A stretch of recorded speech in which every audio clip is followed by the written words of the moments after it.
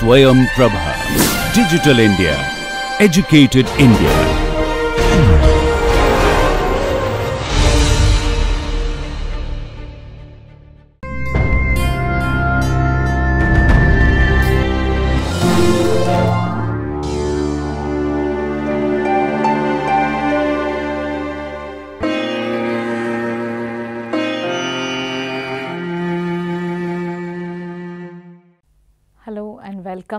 To this topic in biochemistry.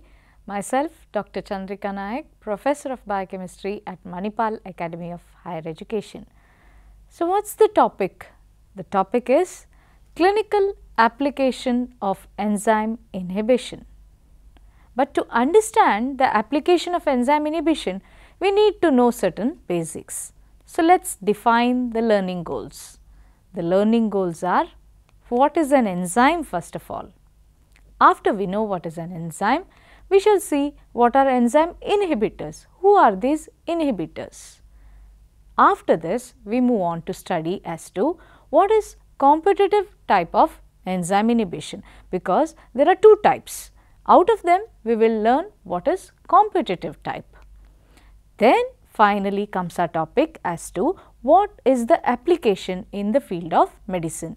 Using this knowledge of enzyme inhibition, how do we apply it for treatment of diseases in medicine and healthcare.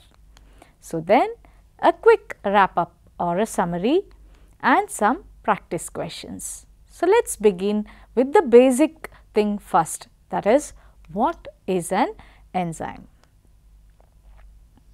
So, enzyme is a substance or a catalyst that will enhance a chemical reaction. So, what is a chemical reaction? You have a substrate, a chemical process that converts a substrate to a product is called a biochemical reaction. This can take place on its own substrate to product. The reaction can go spontaneously, but if you have an enzyme, what happens? You speed up the reaction. So, say you need half an hour to do this, you have the enzyme, you can do it within 2 minutes. So, you are enhancing. So, an enzyme is catalyzing the reaction. Secondly, it is just a protein or a RNA molecule. So, what are these enzymes? They are either proteins or sometimes can be an RNA molecule, but majority of the times they are all proteins. Enzymes are proteins. And what do they do? I told you it speeds up the reaction. Conversion rate goes on increasing. And if you have something else along with enzyme, if you have a partner with it, it will do the function faster. So, you have a coenzyme or a cofactor along with the enzyme, you can further speed up the reaction. So, that is about the supporting factor for enzyme. But now comes the important concept that is uh, specificity sorry before that specificity assures that you can control all the metabolic pathways. So, all the metabolism after we eat food till we get energy we have multiple chemical reactions and to speed up these reactions we have enzymes in our body doing it very specifically. And once again I come to the important topic and that is if you have an inhibitor here in the presence of an inhibitor, what happens is you are going to slow down this biochemical reaction. So, what does an enzyme inhibitor do? It will decrease the activity of the enzyme.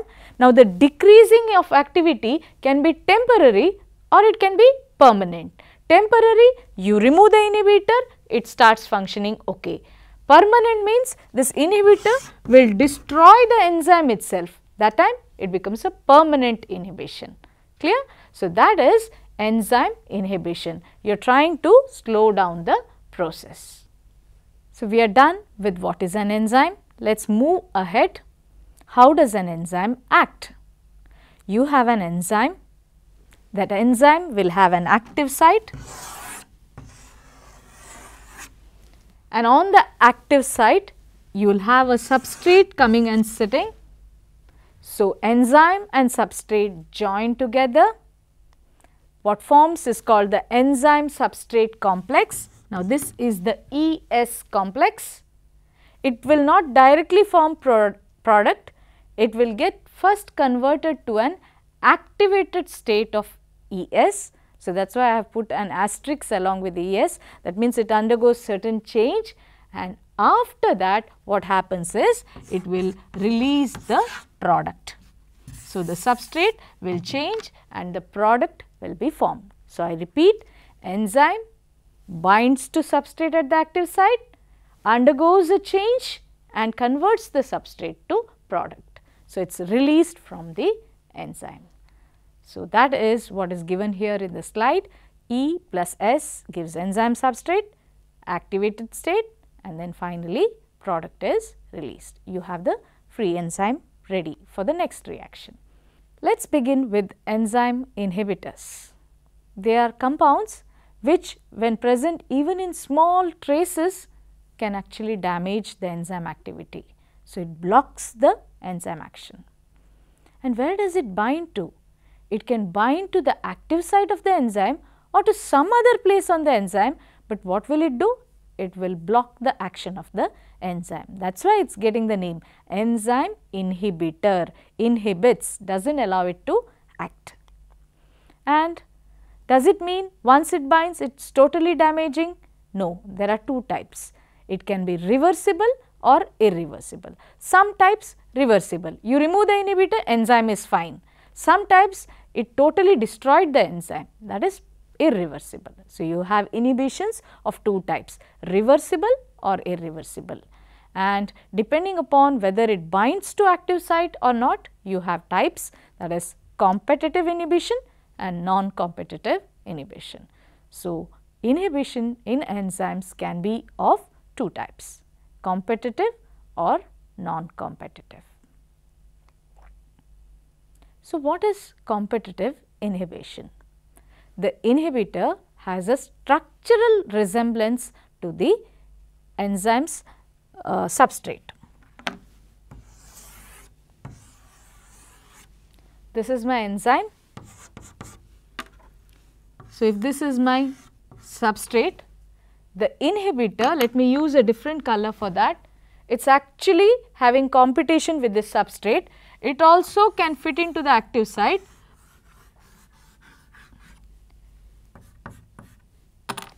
It has structural resemblance to the substrate and therefore competes with it and it can glow and block the active site and when it blocks the active site enzyme cannot act. So, that is competitive inhibition. So, the first point what you should remember is competitive inhibition takes place if the inhibitor has structural resemblance to the substrate.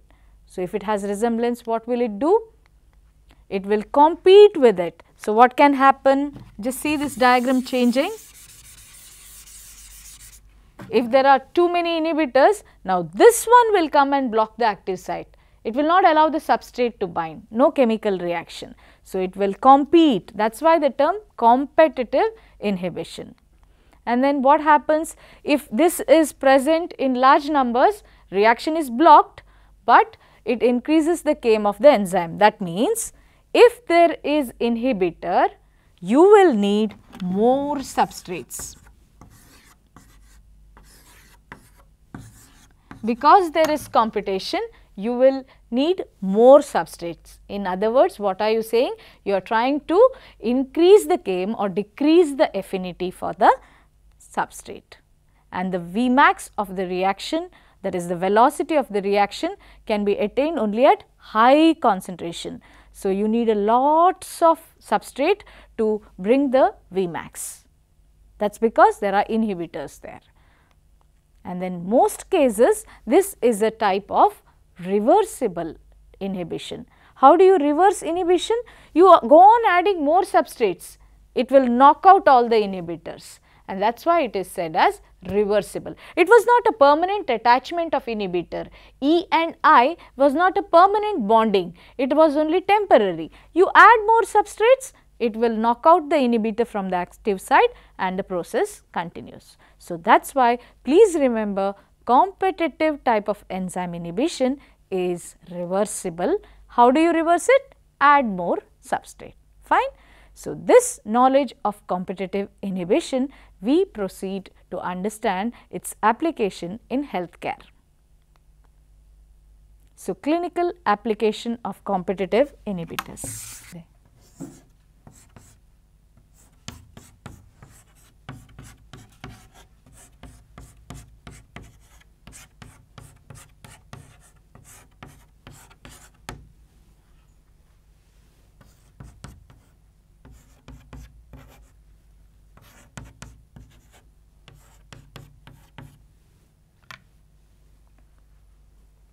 Start ಮಾಡ್ಬೋದಾ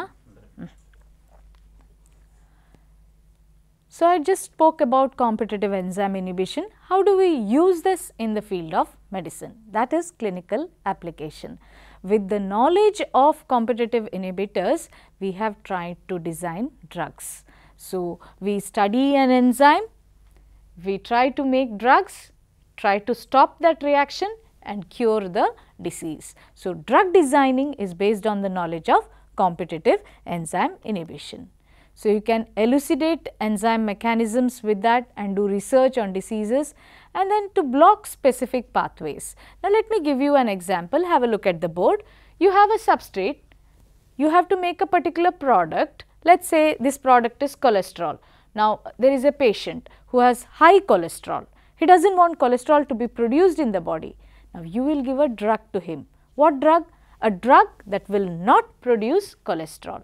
So, how do we do that? Say for example, this is a pathway that produces cholesterol. You will design a drug that will block this enzyme. So, design a competitive inhibitor for this enzyme. So, what will happen? You will block this reaction. So, you made a competitive inhibitor, blocked it, pathway does not take place, your cholesterol will not be produced. So, this is what is known as blocking the metabolic pathway.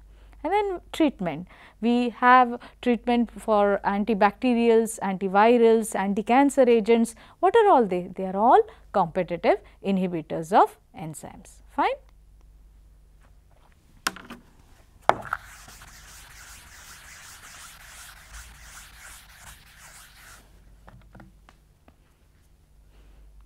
So, what is the clinical utility of competitive inhibitors?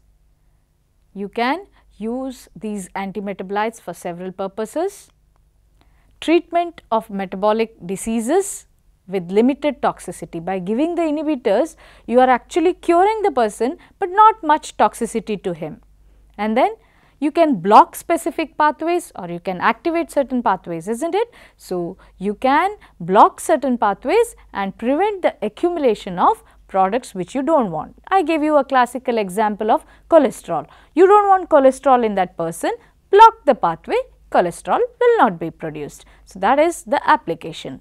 And then suppression of the critically important pathways like for example, there are bacteria growing in your body. Design a drug that will kill the bacteria only, not you. So, that is called as antibacteria. You want to kill the virus in your body, not you then use the antivirals. You have cancer, use anti-cancer drugs, it will stop cancer progression. So, this is all the application of competitive inhibition. So, let us go further. We have different types of uh, inhibitors used as drugs, antibacterials, antivirals, anti-tumor agents and there are a few, let us put them under the other category. So, 4 categories we will try to give examples and try to understand. So, let us begin with the most common antibiotic or antibacterials. So, the most important drug that we remember when we say antibiotic is the sulfa drugs or sulfanilamide. So, it has resemblance to a compound called as PABA, para amino benzoic acid. So, what happens? You give sulfa drugs the bacteria gets confused. Instead of using PABA, it will start using sulfa drugs and it will inhibit the enzyme. And if you inhibit bacterial enzyme that is dihydropteroate synthetase, what will happen? Bacteria cannot grow. If bacteria cannot divide, if they can't grow, that means you are killing the bacteria in the body and that is the purpose of antibiotics. So, you are controlling the bacterial infection. How did you control? You use the competitive inhibitor and that is sulfa drug. So, in this all this process human is not affected because we get folic acid by consuming it in the diet. So, that uh, brings us to the end of sulfa drugs. Let us move on to certain other drugs which are actually mimicking amino acids. The best example cycloserine. It is an analog of serine. It is just like our serine amino acid. It will stop the synthesis of sphingosine, sphingomyelin. What are you achieving? You are actually trying this trying to use this drug to treat tuberculosis or UTI or urinary tract infections. The best uh, drug is cycloserine. You have azaserine. This is also an analog of serine. By using this analog, what are you trying to do? You are inhibiting the enzyme phosphoribosyl amidotransferase and by doing so, it is a very good type of anti-cancer agent. You use this, the cells won't divide. So, you are curing cancer. Then we let us make a list of anti-tumor agents which are all the anti-cancer drugs that are in use nowadays. We have a group of anti-cancer agents or anti-tumor agents called as folate analogues. Methotrexate comes in the list. It is the first and the most common uh, used anti-cancer agent. What is methotrexate resembling? Methotrexate is an inhibitor of which enzyme? dihydrofolate reductase. So, if you use methotrexate, what will happen? You will be decreasing the purine and pyrimidine production. That means you are not producing DNA. If you do not produce DNA, no cell division. No cell division, no cell proliferation. So, you are trying to cure cancer. So, decrease DNA synthesis, decrease cell division and that is why methotrexate becomes a very good anti-cancer drug. There are two more belonging uh, folate analogues that is pyrimethamine and trimethoprim. Pyrimethamine is used as an anti-malarial and trimethoprim is used for bacterial infections. So, these are all the three belonging to the same group folate analog. Why did we call it folate analog? Because it resembles folic acid in structure and you use it for treatment. Let us go to the next category of anti-tumor agents. They are analogues of the nuclear bases design certain drugs which will resemble your purines or pyrimidines. So, we have two types that is pyrimidine analogues and the purine analogues. So, let us begin with the first one that is the pyrimidine analog. The most commonly used anti-cancer agent 5-fluorouracil. It has structure similar to the uracil. Uracilin is a pyrimidine. So, it resembles pyrimidine structure and by using this you will block which enzyme? Thymidylate synthase. So, if you block this enzyme, what will happen? No uh, pyrimidines, no TMP production. And so, DNA synthesis comes down, cell division comes down, cell proliferation comes down, you are trying to cure cancer. So, that is why 5-fluorouracil is commonly used in chemotherapy. Then comes another pyrimidine analog and that is cytosine arabinoside. You also have acyclovir. Now, these will be used as pyrimidine analogues. They will block the DNA polymerase action. Basically, what are you trying to do? Stop cell division. So, you are blocking DNA synthesis, blocking cell division. So, you use this for a particular type of cancer called as leukemia. So, the most commonly used cytosine arabinoside is for leukemia patients. Let us talk about purine analogues. Pyrimidines was cytosine, thymine analogues. Purine means you are talking about the purine analogues. 6 mercaptopurine and you also have 6 thioguanine. Now, they are analogues of purine. Which enzyme are they blocking? Adenylosuccinate synthetase. And so, what happens? You will not have nucleotides, then you do not have DNA and RNA produced because these are going to block, it blocks nucleic acid synthesis and so this is also an anti-cancer agent. let us come to the other drugs that are commonly used nowadays.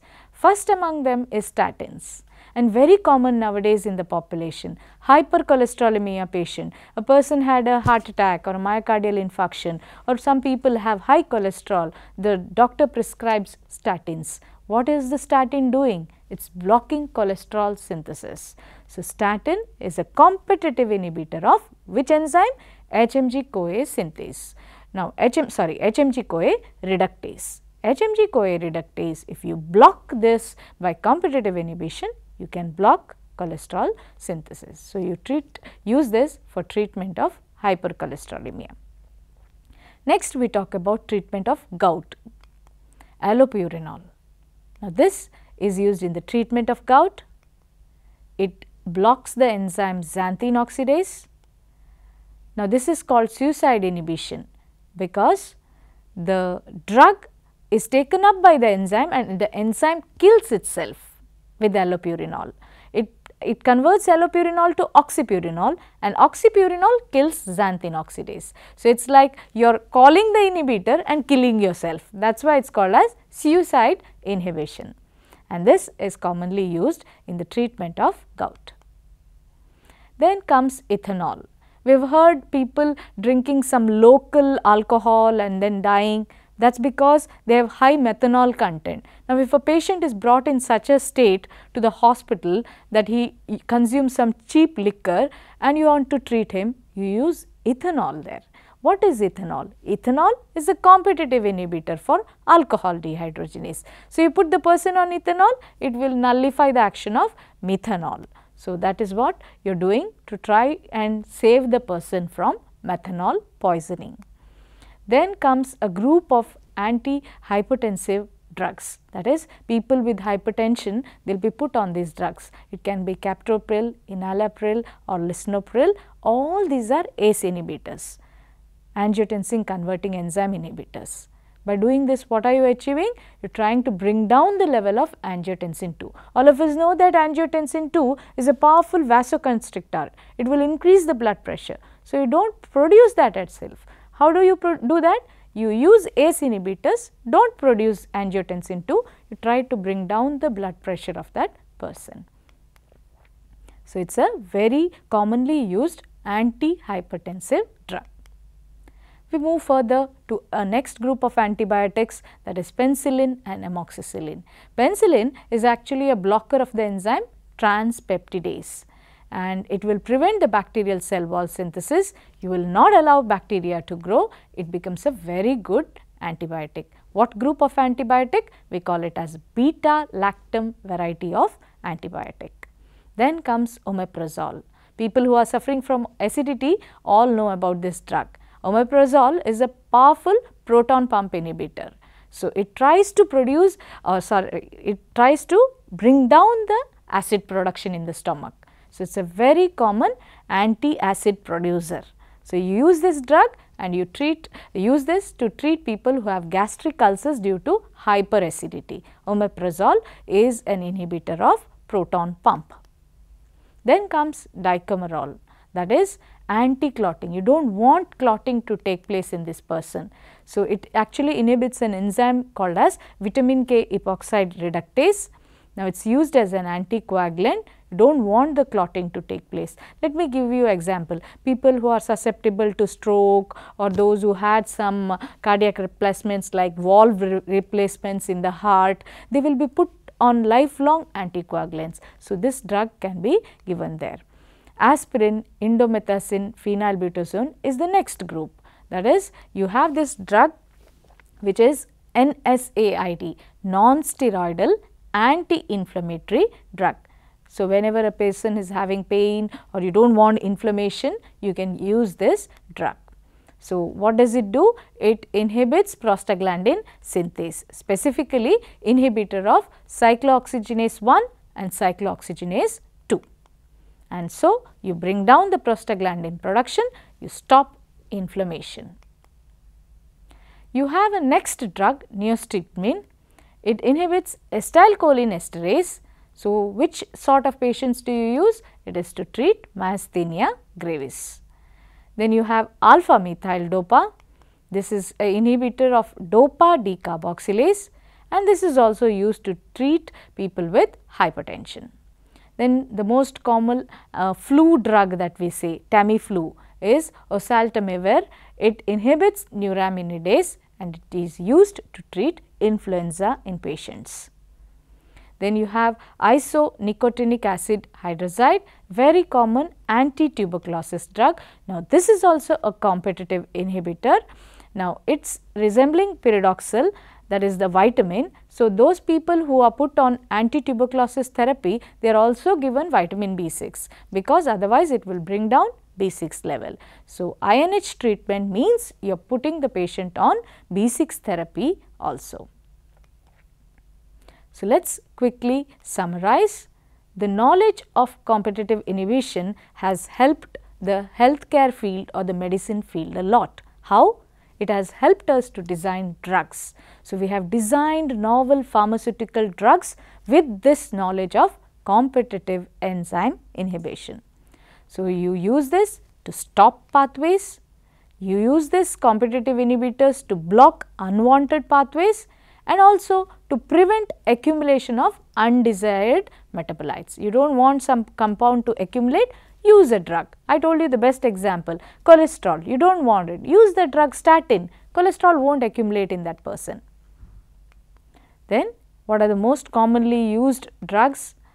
They can be analogues of amino acids, they can be analogues of purines, pyrimidines, they can be analogues of folates or polyamines and many more.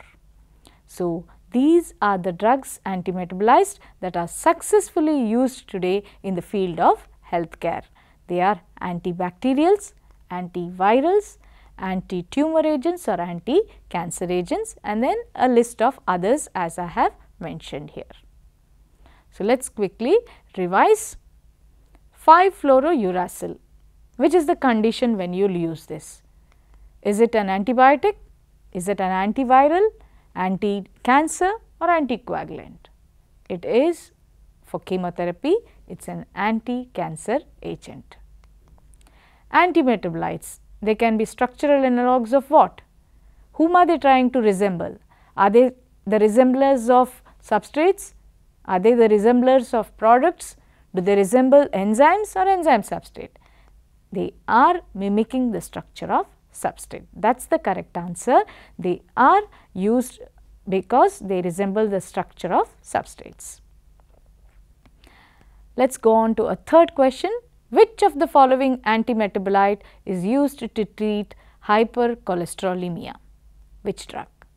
Allopurinol, cycloserine, simvastatin, methotrexate. I told you the group of drug. Yes, statin drugs. So, it is simvastatin used for hypercholesterolemia. And one last questions before I wind up and that is which of the following statement is true regarding competitive enzyme inhibition? Will it decrease the KM of the enzyme or will it increase the KM?